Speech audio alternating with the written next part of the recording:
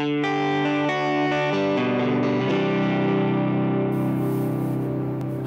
welcome to Ride Alongside.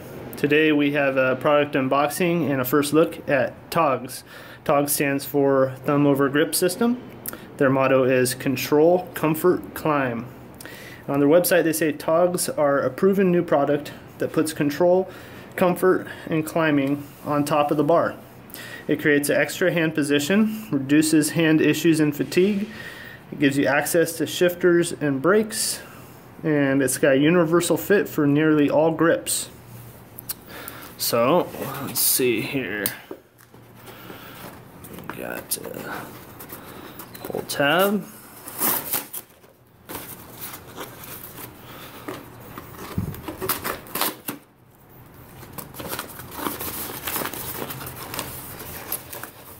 So right away it says race better on the side of the box. So you can see this is the carbon model, the hinged model, which it does make it nice that they're hinged so you can leave your grips on and um, add or remove the um, hinge togs.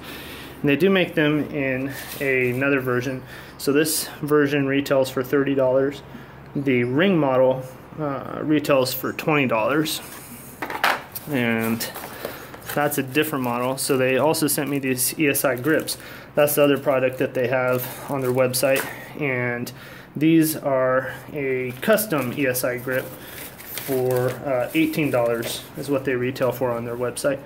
And they're 115 millimeters. So I guess they're a little bit of a shorter grip.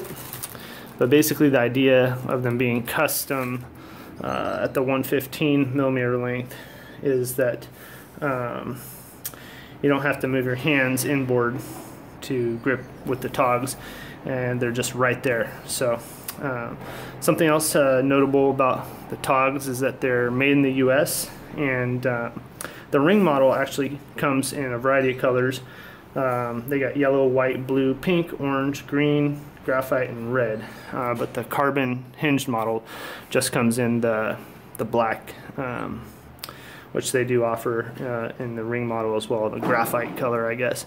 So anyway, um, that's about it for right now. I'm going to test these out and see how they work, but I'm really looking forward to it because uh, I'm I'm one of those riders that used to ride with um, bar ends a lot and they'd really helped me with the climbs and just gave me that extra hand position and all the guys I've talked to that have used the togs in the past um, have said that they really do provide that extra uh, hand position. And truthfully, most of them don't even notice that they're using them anymore. I talked to a guy just uh, a couple days ago who he'd been using them for a year now, and uh, he doesn't even notice that he's using them or not using them. It's just kind of a natural thing. So I said, that sounds pretty good.